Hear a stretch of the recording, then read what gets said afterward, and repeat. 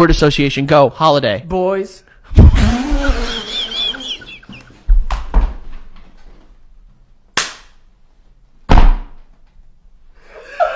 the fuck? Boys?